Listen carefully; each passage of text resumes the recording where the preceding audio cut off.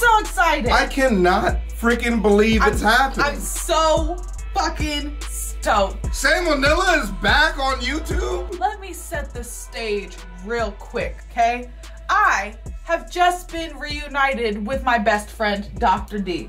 That's true. We're having a great time. My husband checks out, completely Yeah. leaves the conversation. Oh yeah. I'm sitting in the back too, so it's very appropriate. I'm not I don't exist for a little while. How you doing back there? Because because he hasn't said anything.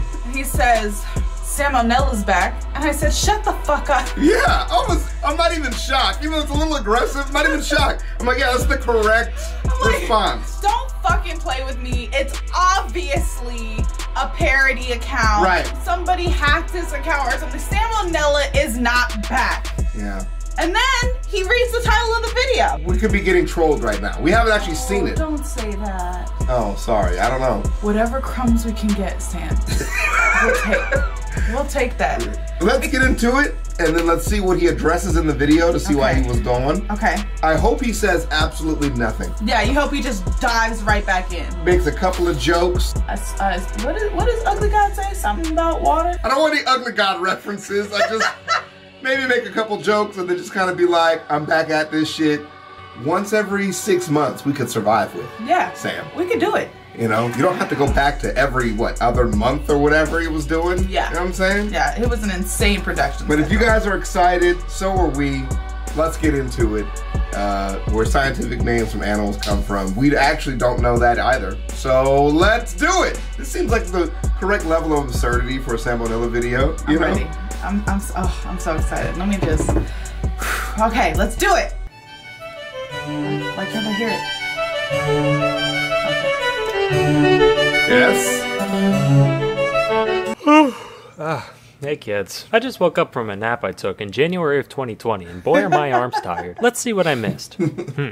Queen's dead, war in Ukraine, the Taliban's back. What? What is. Holy shit. They made a movie called Scoob.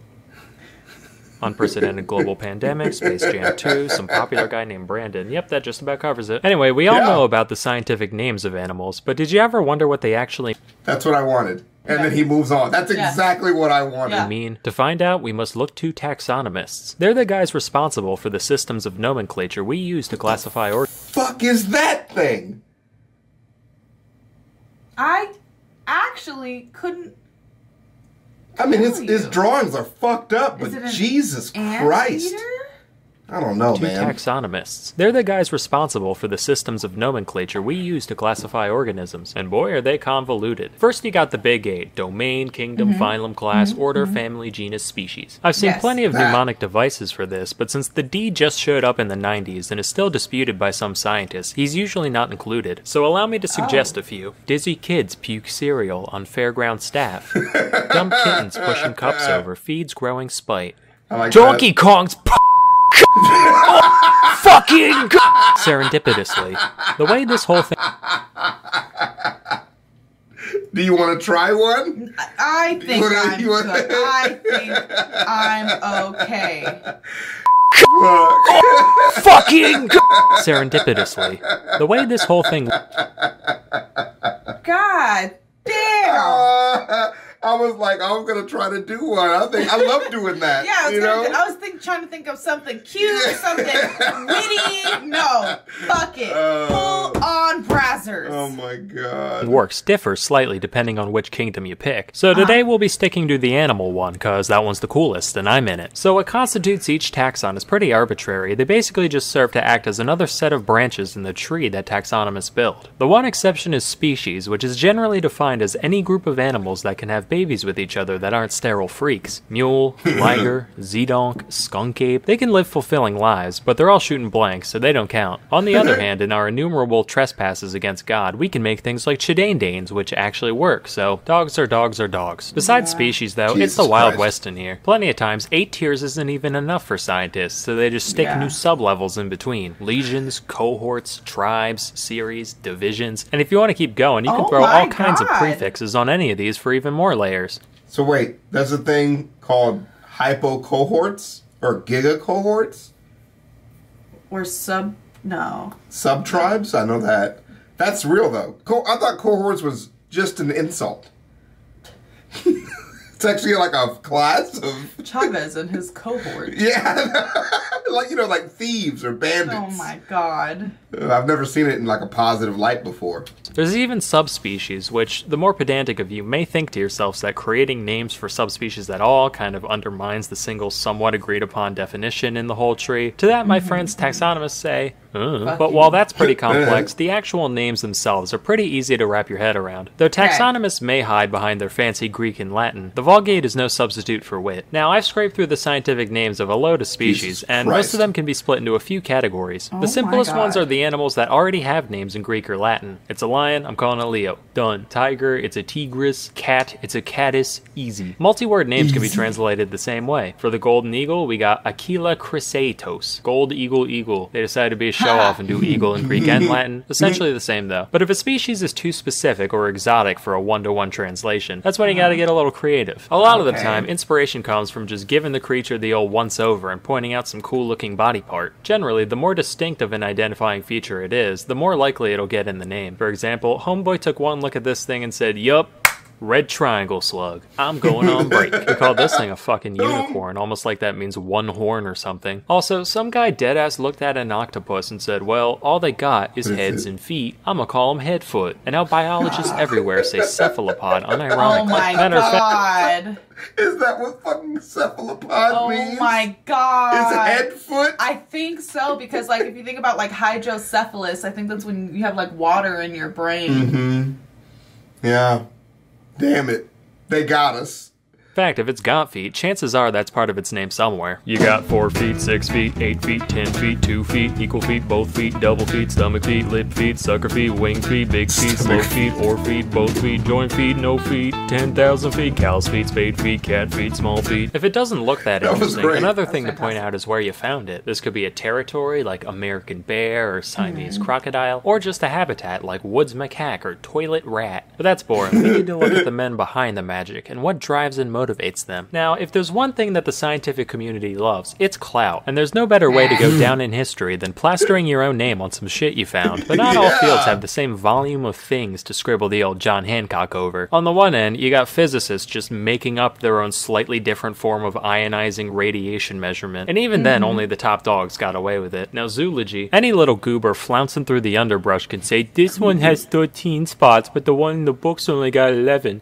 I will call him Splinkus's ladybird. Alternatively, plenty of biologists have given shoutouts to their contemporaries, both other biologists and those across the academic gamut, from geologists to physicists to explorers and more. Naturally, Darwin's got a shitload, but even the background characters get immortalized one way or another, who are mm-hmm. I want to know who named one after their side piece.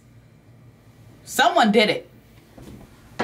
Someone absolutely did it. Don't mind us. We woke up in the morning to do this. Good morning. Yeah, I actually thought about. Um, You just like left. I was so confused. I was like ready for our alarm to start going off because it's so early.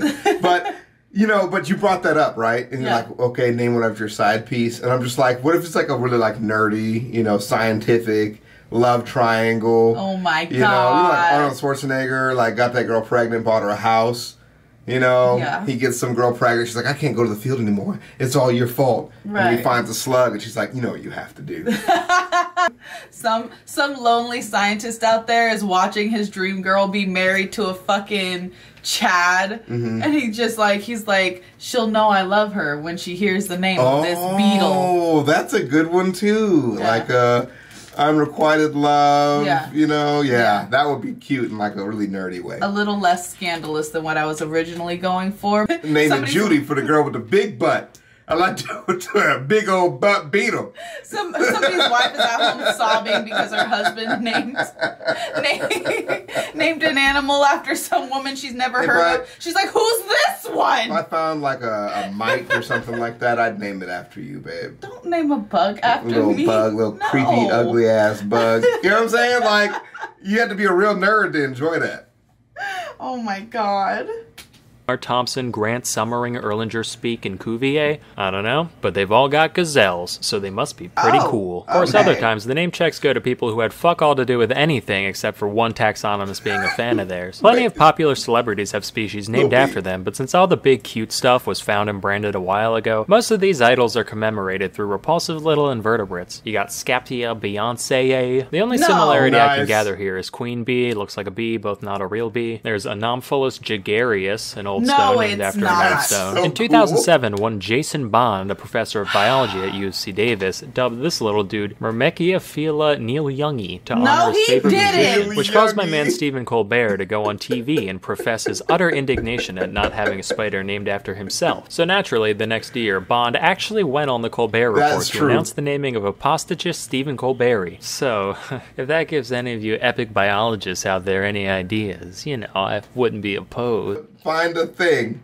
that causes stomach pain, like you have salmonella, and name it after salmonella. Do it. Oh, please, I would do anything. For the love of God, I'll even take a lichen. The world of politics is by no means immune to this phenomenon. Obama alone has fucking nine, as do a load of other presidents. Trump's got a moth with funny hair, Bush has a Ah. fungus beetle, Reagan's a wasp, Carter's got a darter, and so forth. Even Austria's most famous Cool. painter got the honor through this blind cave beetle. Mind you, it was Really? 1933, so you can only blame the guy a tiny bit. Hitler actually Yeah. wrote him a letter saying, Oh, thank you, my little entomolomensch, and then went on to do, you know, Hitler things. Fun fact not only was this beetle stuck with just about the worst name you could have, it's also now facing extinction solely because of its value to Nazi memorabilia collectors. Guess What old the habits die hard. Fuck out of here. But I guess just because you're a Nazi doesn't mean that you don't like insects. You I, know? I guess. I guess. I Fictional- guess Nazis can have other interests other than being garbage cans. Characters have their fair share of species under their belt. On the topic of evil beetles, this one's named after Darth Vader because he kind of looks like his helmet, I guess. This was cool. actually named by the same guy who did the Bush one and belongs to the same genus. Hmm. There's also this mite, genus Darth Vaderum, which is a lot more accurate and frightening. In 2012, a single bone from above the eye socket of a hitherto unidentified theropod dinosaur was being studied. And suddenly, under the light of the full moon, the guy working with the specimen had his neck covered with hair and his lips clench into a pog and his endocrine system fill with soy, and he said, It's just like the eye of Sauron. And then he started chewing on Funko Pops and sweating cream of meme and snorting G Fuel and shitting D20s everywhere until the prostate stimulation made him. The dino's genus is now Sauron.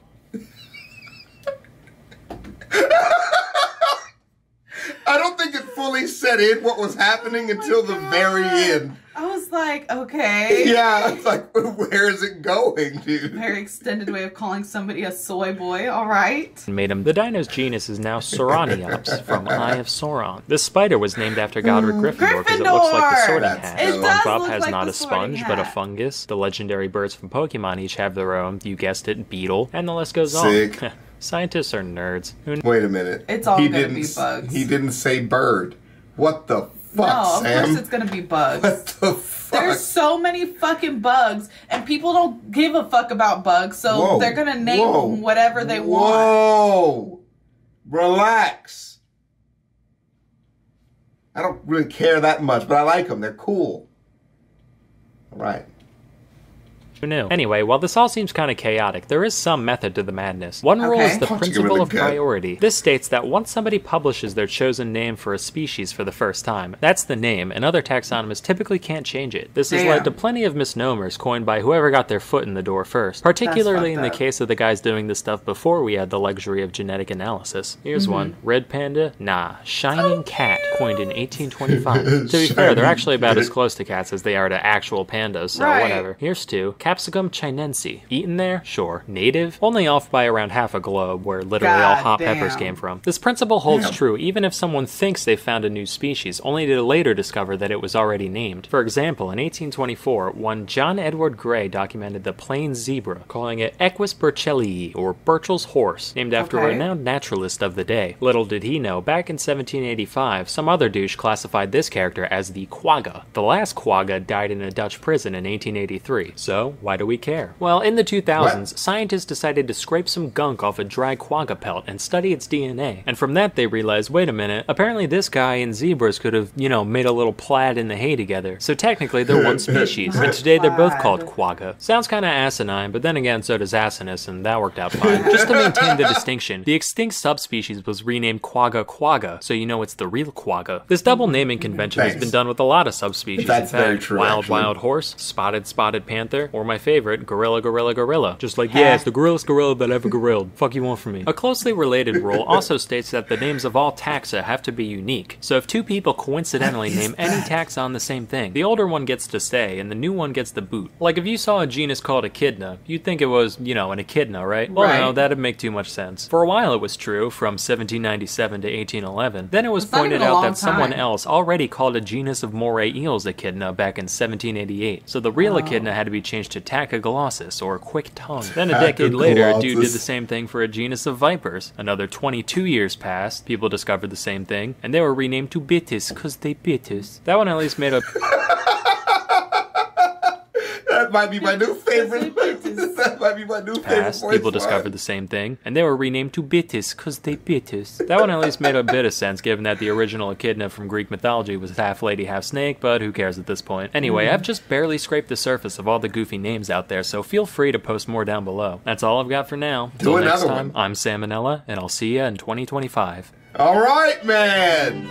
If that is the only video we get until Uh-huh. 20 the end of 2023, Yes. was it enough? It deserves Yes. a rewatch. We could do like a highlights of this video, I think, Yeah. looking into some of the other stories. It feels like he hasn't lost it. No, he's It's got it. been two years, and it. he's still just as quick. Yeah. He's still just as witty. You know. He's still so far out of my wheelhouse. I trust half the things he says implicitly, and have I'm to. not sitting here questioning anything. And you know, we've had a lot of uh, losses in YouTube world over the past couple of years. Yeah. You know, Sorrow TV, Mhm. Soot House, Yeah. Salmonella. It's all the S. What is Yeah. what's going on over there in S world? That's a good point. what is happening? Just so y'all know, Skitten says is here to stay.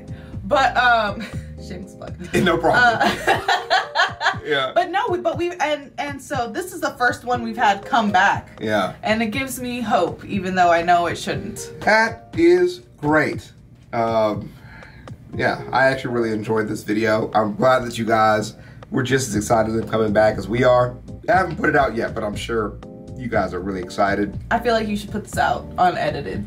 Fuck it. Give it to them raw and uncut. Yeah, I mean, there's nothing else to cut. I mean, it's going to trim out the part where I literally left this camera screen and my wife just probably sat here and stared at nothing for a while. I was just very confused. I just had no clue what was going on. But yeah, we really enjoyed this video. We got up at six in the morning to do this. So, you know, we want to get this out the same day for sure.